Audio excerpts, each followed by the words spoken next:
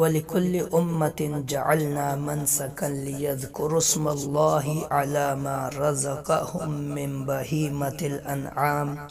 فَإِلَٰهُكُمْ إِلَٰهٌ وَاحِدٌ، فَلَهُ أَسْلِمُوا وَبَشِّرِ الْمُخْبِتِينَ.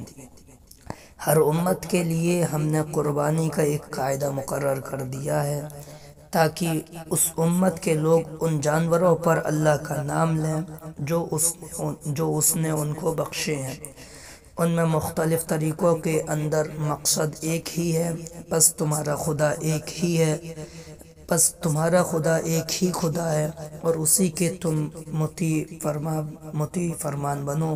اور اے نبی صلی اللہ علیہ وسلم، بشارت دے دے عاجزانہ روش اختیار کرنے والوں کو۔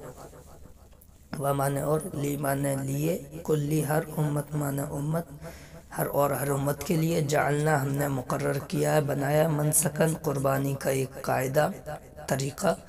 لی تاکہ یذکرو، وہ ذکر ذکر کریں نام ذکر کریں۔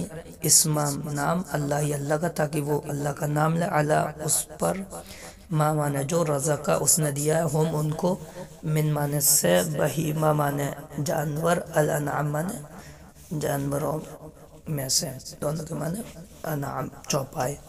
فمانا تو الہ مانے معبود کو مانا تمہارا تو تمہارا معبود الہن ایک خدا ہے واحد ایک معبود ہے۔